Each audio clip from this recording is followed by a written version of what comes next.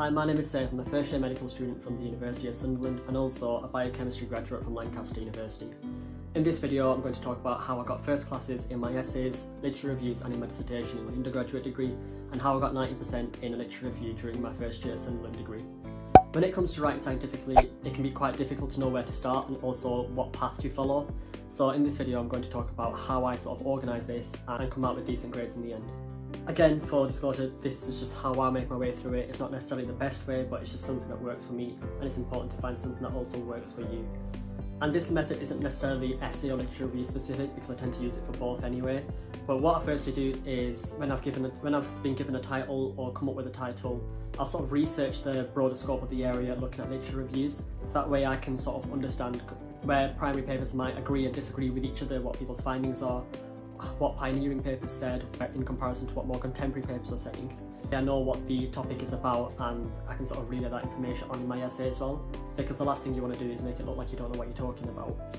When it comes to finding literature reviews and even primary papers, where I normally go is PubMed and from there I look my way through literature reviews firstly so I can understand the topic, then I look at primary research and I normally filter this down to recent papers unless it's pioneering papers or very significant papers.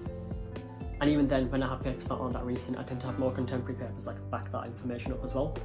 And that's pretty much how I source the information, but when it comes to extracting the information, so deciding what's important and what's not, I'll go through the documents and open up two pretty much Word documents on my laptop.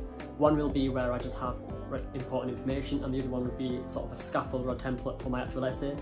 In the scaffold it'll pretty much just have the introduction, main body and the conclusion and that will essentially be the same in the information one but in the information one I'd have the raw information with the URLs and then in the essay I would sort of reword and talk about that information in the in the essay or the literature review. I don't really bother with referencing it in the information document, instead I'd sort of go back to that URL, put it into the citation manager, extract that and put it into the put it into the main document. And you can use various citation software such as Cite This For Me, or if your university has a subscription to EndNote you could use that. And this is obviously much more efficient than writing them out manually yourself. I, for one, normally just start the essay from the introduction down to the conclusion because having read the literature reviews, I normally understand the topic anyway, so I feel like I can pour out a good introduction and I can tweak it along the way anyway. Whereas I know some people like to sort of start on the main body and work their way back to the introduction retrospectively, which is fair enough because again, if it works for you, then that's fine once I've pretty much written my initial essay, it'll be just tweaking that, looking at ways to improve it, and sometimes if I've got time, I'd look back at primary papers and additional reviews to see if there's anything that I've not really considered yet.